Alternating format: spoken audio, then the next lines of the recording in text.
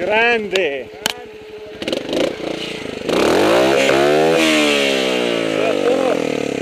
Adesso andiamo a vedere il lago Venina a piedi